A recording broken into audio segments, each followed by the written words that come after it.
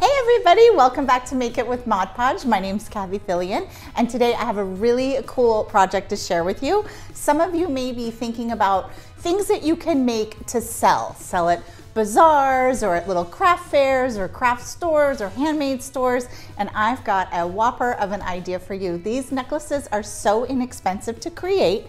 I'm going to show you how you can create these really cool wood pendants, and I'm using these faux Jenga game tiles from the dollar store. So with these wood tiles, you're gonna be able to create custom pendants. I'm gonna show you how you can do some rubber stamping with your Mod Podge. And then to give it that really cool glassy finish, we're gonna be using Dimensional Magic to top it all off. Now, by my calculations, each one of these necklaces is definitely less than a dollar to make. In the box of the wood game tiles, you get 72 pieces for $1.25. So that's less than two cents per wood piece. So every pendant, the, the base of it is gonna be less than two cents. For the necklaces, I'm using ball chain that comes in a bulk spool and I'm, it also came with the connector pieces. And for that, you're roughing out about 40 cents per necklace, depending upon how short or long that you make these. For ball chain, I like to make it a little bit longer, then customers can always cut it a little bit shorter. So let's take a peek really quick at what I'm gonna show you. We're gonna make this smile one on camera today, but these are really fun. You can make sort of evergreen ones that work for any season. Down here, you'll see that I've got some Halloween ones. We are gonna be drilling these, but I'm gonna show you some other ideas on how you can uh, attach clasps and things.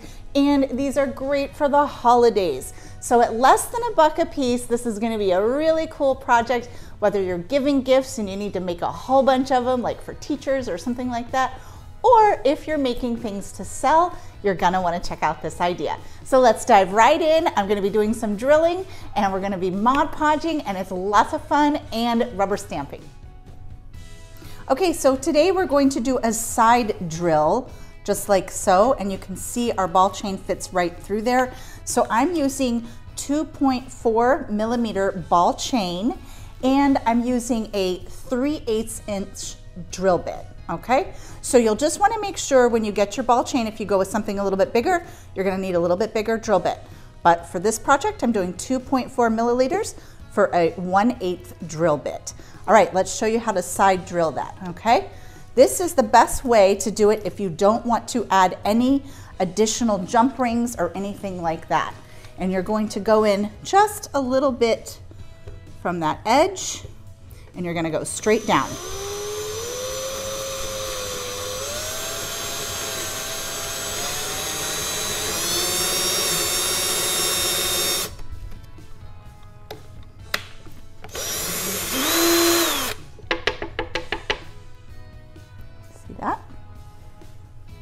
Now we are ready to do our Mod Podging. Okay, so now that I got it all drilled with our side drill, I wanna show you a couple other ways quickly that you can do this. If you don't have a drill or you don't feel comfortable drilling, you can easily glue a bail to the back of one of the pieces and that looks great and it's a really beautiful polished look. But again, that's gonna add a little bit more cost now, if you wanted to use a jump ring to be able to add a little bit of silver, or you want to add some dangles or some little tassels or something, you could do a front drill and put a jump ring through there. So there is options with this, but the least expensive way to make this is doing that side drill.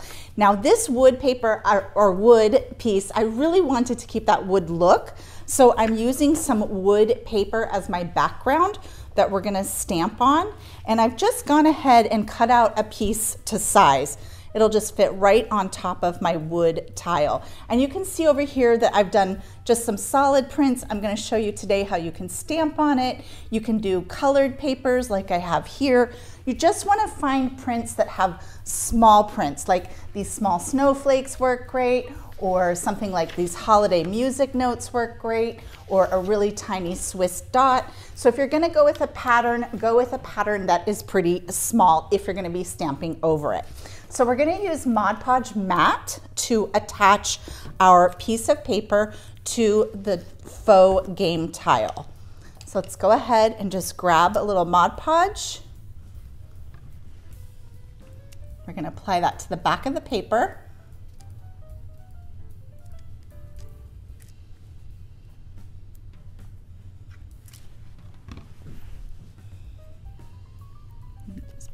Position that on there.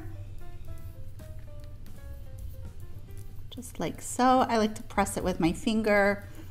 And now we are ready to stamp out our design. Okay, so we're gonna stamp out smile and I am using a permanent ink pad. That's very important that you use a permanent ink pad.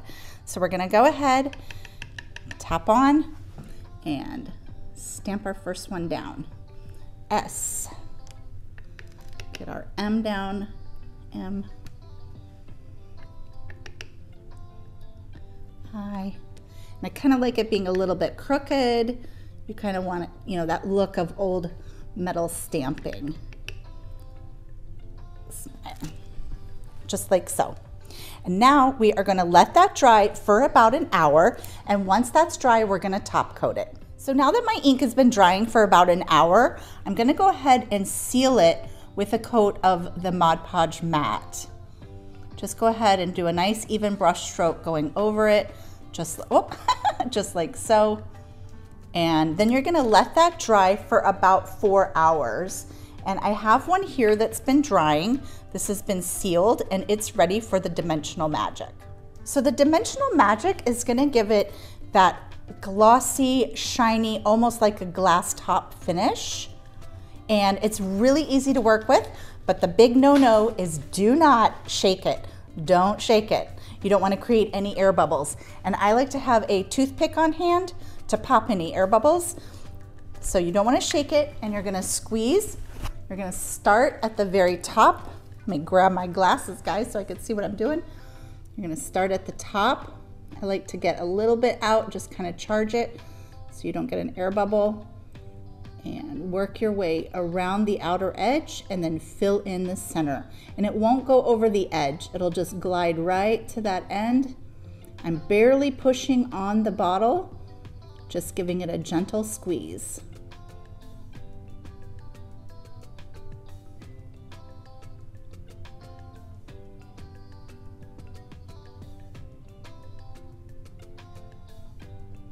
and it'll just magically fill in like that. Now you're gonna set this aside and you're gonna let it dry for 24 hours before you mess with it. And if you get an air bubble, I don't see one today, but you would just go in and pop the air bubble. And I would like to say that sometimes the air bubbles come back or come out after about a half hour. So definitely give it a check in about a half hour. Other than that, it looks pretty good. We want it to dry in a non-drafty place and for 24 hours. Okay, let's talk about ball chain. I'm using a 2.4 millimeter ball chain and you can do these as long as short as you want. 30 inches is really nice if you want a long dangler. So let's go ahead and just measure some of that out. And this stuff easily cuts with just a little wire nipper, just like that. So simple. And we're gonna use the little piece that comes with it, that's just the little clasp, traditional ball chain clasp. And with this, remember we use that 1 8 inch drill bit, then you'll just put your ball chain through there and thread that through. And go ahead and seal that up. Oh, sorry guys, I don't have my glasses. There we go, so simple. So let's go ahead and add it to our stash over here. You can do these with any different kind, you can do stamping, you can do papers like this. Again, if you're selling at a holiday boutique, look at these great kind of holiday themed ones.